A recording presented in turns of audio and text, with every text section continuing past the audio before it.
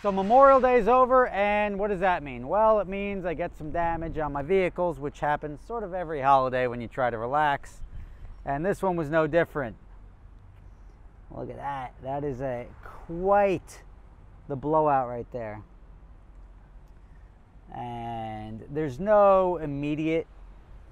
Uh, he said he hit a pothole, obviously, but there's no immediate uh, bend in the wheel that I can see but I'm sure when we look at it or look into it, um, we'll see the bend in the wheel. Of the truck's getting a little tight over here, so let me go inside.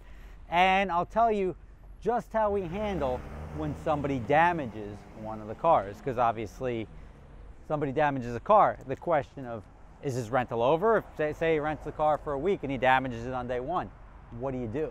Well, what we do is, uh, or in this situation or most situations, we'll usually look to bring a replacement car. Even when the guy crashed the 488, we brought him a 458.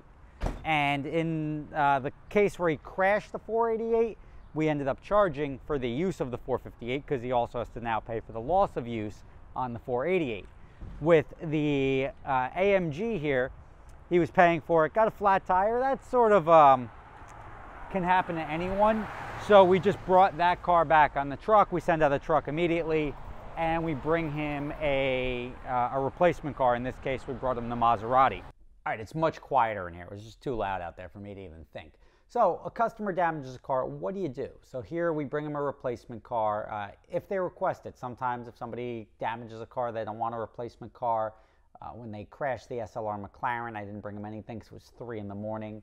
Uh, but, but if I have time, if they're uh, mid-rental, I'll usually bring them a replacement car. They'll get a new contract, um, and now they will be under a new rental agreement. So, so it's a completely separate rental. It depends if it's a replacement car. If, say the car breaks, that's another story. Say uh, a coolant line bursts or something like that, we'll just bring them another car. New rental contract. There's no charges if it's something where they damage a car and, and, like and they do something wrong like the guy who crashed the 488 i had to charge him for the 458 he wanted another car. I gave him another car but now i'm losing my 488 because he's crashed it and uh, the 458 you know like i'm giving it to him so he's now renting two cars at the same time. With uh, with something like this the guy hits a pothole you're, you're in jersey new york whatever everybody hits potholes. So i have to charge him for it because obviously he damaged the car but it's not something where uh, I feel the need to charge him for the other uh, for the other vehicle. Uh, I give him a replacement vehicle if I have something similar. If like say he cra- is say damaged or got a flat tire on the Maserati and all I had left is a Lamborghini, I have to I can't bring him the Lamborghini and say here you go, here's a car that costs four times as much uh, because you got a flat tire. So when available, we'll always bring somebody a replacement car. Um, now after the fact he brought the Maserati back. I charge him now for the tire, and I charge him for the uh, wheel, either replacement or repair. If I can get it repaired, I will get it repaired. If I can't get it repaired, I get a replacement wheel. Um, and usually I'll try to find one um, used if I can, and then they just pay for the, the replacement wheel, whatever it costs. Uh, I pass that on to them. A lot of companies will charge for both tires. They'll say you need to replace both front tires.